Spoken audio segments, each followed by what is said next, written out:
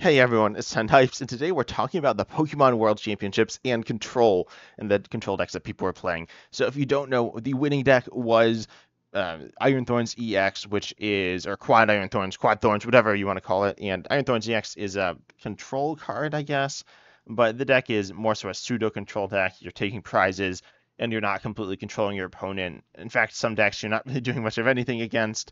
So it is a bit of a matchup dependent deck, as are pretty much any control decks. But anyway, so Iron Thorns EX though is definitely a, solid deck and a control deck, but it's not like as controlly as Snorlax or Pidgeot control. Both of those are very controlly, so I won't be talking about Iron Thorns EX in this video, um, except that it does actually kind of cook these other control decks. But yeah, anyway, let's just hop into the you know that meat of the video where we're talking about control and we're starting with Snorlax because this is the more popular or at least more played control build and it was played four times uh, although the top placing list was not a Snorlax list but you have the ability block and if this Pokemon is in the active your opponent's active can't retreat. It's pretty st- simple and straightforward and this obviously is annoying to a lot of decks. So if we look at the metagame at the World Championships the most played deck was Regidrago V-Star, and you can look at the what are the core cards here and there are different Pokemon. Kyurem can't attack if it's put into play, assuming you don't have Colossus Tenacity or like Colossus Experiment in the discard, which you probably don't. Uh, and then also something like, uh, if you look at the energy counts, it looks like it's nine. So if they have Regidrago V, um, then Grass Ogerpon, or whatever, then you're able to and BBX as well. Like they can't attack with all their Pokemon. They can't attack with three Ogerpons. You just don't have the energy to do that. So that's the idea there. Um, and that's how you beat most decks. You just get Pokemon stuck in the active. You can also heal Snorlax and loop it some, so you can give it more HP as well. Your Bravery Charm, only one copy, but then Hero's Cape is the ace spec in this list, and Penny to heal, as well as Picnic Basket, which we'll talk about. But the new card is Xerosic's Machinations, forcing your opponent to discard until they have three cards in their hand, which is generally really rough for them because this means that they have to um, you know, lose a lot of resources if they have a big hand, which they probably do because there'll be a lot of passing going on or digging for resources. And digging for resources is going to force them to draw cards, and drawing those cards is going to do one or two things. It is going to one mean that they have to just like you know draw lots of cards, get a really big hand. So Xerosic's Machination is going to really mess them up. Or two, it is going to mean that all of a sudden they're um, like discarding lots of their resources or lost zoning them. Theoretically, they could like Iono a bunch of times, but that seems unlikely. So yeah, much they're gonna d- burn through resources, especially if you are Xerosic's Machinations. Machin, machin, what is this? Machinationsing. Yeah, I guess I said it right. um, if you do that to them, you also have Misfortune Sisters and Eri to burn the resources. And you have Chi-Yu EX to discard cards from their deck. Mimikyu and Cornerstone Mask Ogerpon EX are walls to different Pokemon. Mimikyu is going to be walling uh, Pokemon EX and V, which are pretty popular, although. Um, I mean, let's take a look at Regidrago V-Star yet again. Um, we'll take a look at this top four list here and it plays Canceling Cologne, which allows them to get through. And then um, Kyurem can uh, Kyurem can't really get through, um, but then they have potentially some other attackers that let them get through. I don't think they were playing these any of the lists at Worlds, but Giratina V or Koraidon will allow you to get through, so it's kind of weird. But um, anyways, and then Question Mask Ogre is going to be walling Pokemon with abilities. So looking again at Regidrago V-Star, the most played deck, will be walling the Regidrago V-Star, and it will also be walling the Cornerstone Mask Ogerpon EX, but not the Regidrago V. So that's a little weird, but it creates some a pretty interesting matchup there, I think. Um, but it can be kind of complicated as well. Definitely favored Turds control because you can wall off most of their attackers and they can't do too much about it. But they can gust stuff like Rotom V, Pidgeot V, GEX, and can knock out Snorlax generally. So you need to be careful as well. Then uh, you have a accompanying flute to get their Pokemon into play, force them into play, as well as Erica's invitation. So if they um, are playing Hawlucha, like um, Regidrago V-Star list, I'm sure some are playing Hawlucha. So this one plays Hawlucha, and if that's in play, it can't attack ever, can't get taken out of play. So if you get that into play, they'll never choose to play it really. But if they have to play it because of Eric's invitation or accompanying flute, which get that into play, then you're in a good spot because now they can't really do anything about it, and they almost just lose. Then you also have Counter Catcher to gust stuff up. You need the Pokemon in the active and boss swords as well. You have Arven as your main supporter, which can get um, items, which get stuff, and then tools, which include Forest Seal Stone. It does play three copies of Handheld Fan. This is important, I believe, against a Gardevoir, um, and it can be useful for some different things. It's a it's just a control card. Um, and Pokemon League HQ, same thing. Uh, I think Pokemon League HQ is kind of interesting, increasing basic Pokemon's attack costs. I haven't seen this played too much in Snorlax control, but uh, it is pretty good. And then you have Picnic Basket here. And this says heal 30 from each Pokemon. So this is interesting. It allows specifically, I believe, for you to heal your Pokemon. It's good against certain types of spread. It does allow you to heal your opponent's Pokemon and does force you to do that. That doesn't do anything here unless, I guess if they're Gardevoir, can like throw off the math or it could help them, but that is a thing. And then you also have um, let's see what else. That's about it. I mean, you have Silene, you have, you have recovery stuff. You have pretty normal. This is honestly a pretty normal control list. Just wanted to explain a lot of the stuff going on here for people who weren't as sure of it. And if you don't entirely understand it, don't worry. Um, as you hear more people talk about it, and you can try the lists out for yourself as well then you'll understand it more. It's not that complicated once you try it out a little bit, but uh, long story short, short, just Snorlax, right?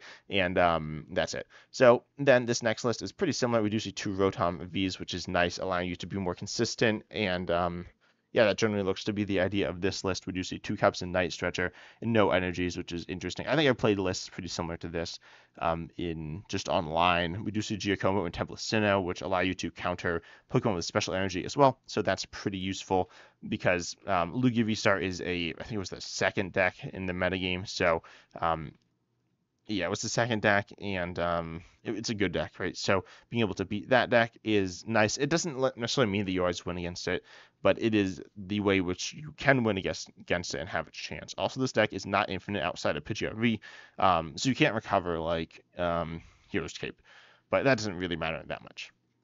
Next up, this list looks like um, pretty similar concepts. You do see three Mimikyus though, which in one fighting Ogerpon, as well as Mist Energy. So this will be walling off um, Roaring Moon EX really well, although not the single prizer. So that seems a little scary. That matchup's kind of sketchy. Also, this deck's super terrible against Iron Thorns EX because. Uh, well, no, that's not true. This deck actually is pretty good because you have the three Mimikyus. If you only play one Mimikyu, it's really bad against it. The other list played yeah, this one just plays one. I just play two Night Stretchers and Team Yell's Cheer and Pal Pad, so you might be okay, but it's a little awkward. You're definitely going to be um, you're probably going to be putting you have to put some other Pokemon in play, and your opponent can knock those out. And Rotom V doesn't work, so I definitely would favor Iron Thorns EX in a matchup like this. In one like this, we have three Mimikyu, no, you're going to be favored against Iron Thorns EX. And you also have Artazons. Again, you're kind of abandoning the Lugia matchup. That one's pretty hard, at least in my experience. That's the hardest matchup for control. Snorlax control specific. Well, no, really any kind of control. So it's pretty hard to defeat. There are certain cards coming out soon that'll help you, but they're not insane. But right now we, we don't have those cards. Now, uh, this is the top placing list. And by the way, this one plays a secret box, allowing you to get a tool trainer. No, sorry, every type of trainer. Tool, stadium, item, supporter, and you discard three cards from your hand. It just helps you set up and adds to consistency.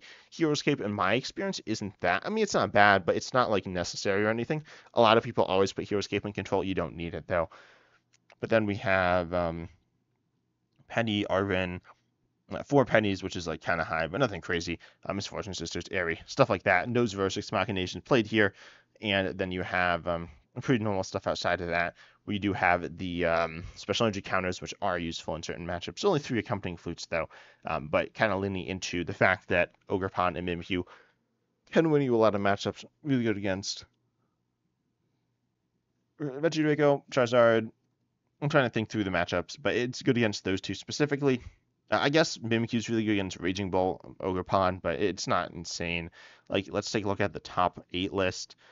This one plays Sandy Shock, plays Sandy Shocks, which will be a counter, so you're not necessarily okay in that matchup, but you're. It could be worse, right? It's not that bad of a matchup with the Mimikyus. And then um, in Snorlax, you Snorlax trap other things, and then you Mimikyu and you kind of switch between the two. Um, and accompanying flute can be really good if you can get Radiant Greninja, stuff like that. But yeah, just pretty straightforward stuff. But Secret Box is really cool. Next up, this is the Pidgeot control list that came in. Okay, you can't see it because these lists are longer, so it doesn't all fit on the screen, at least for me. But here we can see the image, and now we can see Pidgeot control. If you're not familiar with this deck, you use Pidgeot EX, and then you do things similar to the other deck. We see two Rotom Vs, two Mimikyus, two Cornerstone Mask Ogerpon EXs. We see Milotic stopping, scooping up. Instead of Snorlax, we play Pokemon like Wellspring Master Ogerpon EX with its attack here, Sob, which says during your opponent's next turn, the defending Pokemon can't retreat, and it does 20. But with Double Turbo, it won't be doing anything, so then you can just trap a Pokemon in the active. Milotic will stop them from playing Professor Turo's Scenario, which is played sometimes, so that's pretty good. Or Penny as well. List also runs Luxray as an attacking option and Blood Moon Luna EX. Again, this deck is not going to be super good against uh, Iron Thorns EX, but you know that is what it is. Then you also have oh, you can recover Mimikyu, but your opponent Iron Thorns EX, if they're you're in that matchup, they can lost City yet, so that's something to keep in mind. Then there's also um, Radiant Starmina. That one's really interesting to me. I guess it's just like the um, card. I don't remember what it's called. The picnic basket card, I guess. And that it heals a bunch of your Pokemon and helps against spread things. We also see the 60 HP Pidgey, and the other list we also see that. So that's pretty interesting. And then um, nothing too crazy in this list. I mean, it's it's interesting though. Milotic's definitely a fun card. We see Xerosic's Machinations back. Lots of one of supporters, unsurprisingly, which are very common in lists like this. Counter Catcher being really good. Um, but pretty similar stuff to the Snorlax list, and all things con- being considered, uh, you have Lost City as well for Luxray to deal with certain cards that could be problematic to you as well. Next up, this is the top placing list though. This is the one, the the big list, and this one is pretty cool nothing too crazy, but we do see some tech cards. We do see the one Ogerpon, one Mimikyu. Um, mostly, most of the Pokemon are one-ofs. But then we see Sandshrew. This is a pretty interesting tech card with its ability Sand Screen. Trainer cards in your opponent's discard pile can be put into their deck by an effect of your opponent's item or supporter cards. This helps a lot in the mirror matchup, but it also helps against, um, I mean, helps against Palpad, helps against Professor, no, not Professor Terra scenario. Though it does, if they're looping that, you can stop them from using Team Yell's Cheer to loop that or Pal Pad. So that's what that's kind of used there for and that's pretty solid, allowing you to just have a counter card, which is good against a, a good few matchups. And then we also have Genesect, which is the only new card in this list, I think. Uh, we see Night Stretcher too, but um, this card's pretty interesting with this ability Ace Nullifier, and it says if this Pokemon is a has a tool attached, then your opponent can't play any Ace spec cards from their hand. So uh, the good Ace spec cards that you're worried about are going to be uh, most likely, there are some, like any of them could be problematic theoretically, but the big two are um, Legacy Energy. We'll just want to say real quick if your opponent is using Lugia V-Star with Archeops, they can just get that into play with Archeops. But if your opponent is running Scoop Up Cyclone or more likely Prime Catcher, then they can use that as a switch, which is obviously an issue in a deck where you're trying to stop your opponent from switching. So Genesect is really good for that. Just keep in mind if they boss or just knock out your Genesect, then they can play it, but just be careful about that. Uh, they could also boss orders Canceling Cologne it, and Canceling Cologne isn't so useful against this deck if they're not worried about the walls because they don't need to be worried about Snorlax. So Canceling Cologne, if your opponent does have something like Giratina V or Koraidon in their deck in um, uh, Regidrago V-Star deck, then they can cancel and clone the Genesect and Prime Catcher and do stuff like that. So keep that in mind. You also have the Blood Moon Ursaluna EX, which attacks, does massive damage for cheap, and also has insane HP, 260 HP, highest HP in the game for a basic. Uh, it's the game, I mean, standard format. There are cards like um, uh, ADP, Arceus and Dialga and Palkia GX, which has 280 HP and is really, really good. But Moon Ursaluna EX 260 only gives up two prizes as well.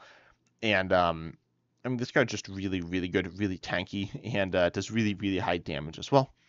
Then we have pretty similar stuff, as I said, in terms of Pokemon, and trainers are pretty similar as well. Nothing like insane. We do see TM Devolution, though. This, of course, devolves your opponent's Pokemon, and we do see Roseanne's backup. So uh, TM Devolution allows you to kind of counter rare candies, because rare candy, um, they can't just immediately evolve again. If they're playing something like like Regidrago V-Star, you devolve them. Pretty much that's not going to do anything unless devolving them gets the knockout because then they can just re-evolve. But with Roseanne's backup, can TM Devolution a Charizard EX, then they Rare Candy it again, and then devolve them again because Roseanne's backup recovers tools, special energies, Pokemon, and stadiums. By the way, people often forget this recovers um, Pokemon. It does, and that's really nice. And then you have Professor, or sorry, not Professor Turo's. You have uh, Team Yell's Cheer, not in the deck because that recovers Pokemon. Uh, we have Night Stretch as well, but that is a good card, but not in this deck because you're just relying on Silene Palpad, and Roseanne's backup can recover some of the cards you might be wanting Yell's Cheer to get, or do something functionally similar. Um, or Silene. Silene often covers the pretty similar things, and just three Palpad, but uh, you do have the Pokemon recovery that you need. And then we also see Defiance Vest. I, I say this card's good, and I think it is good. I think um one I've I've flip flopped a lot about this card, but I think it's generally something I'd always include if you're playing multiple Bravery Charms. I'd say instead of three Bravery Charms, you should always play two Bravery Charms in the Defiance Vest, assuming you're playing a normal control list. Um, and the ace spec here is going to be Hero's Cape as well. But anyways, Control is definitely, a, in my opinion, an interesting deck in the metagame right now. Snorlax isn't necessarily that interesting, and Iron Thorns EX isn't necessarily that interesting, but I do believe that um, also this deck is going to be terrible against Iron Thorns EX, but I think Control is in a pretty solid spot in the metagame with Pidgeot Control and certain other builds as well. But anyways, I hope you enjoyed the video. Uh, tell me what you think of Control down below and what cards you would add to the deck. But I hope you enjoyed, and as always, I'm excited to see you in the next video.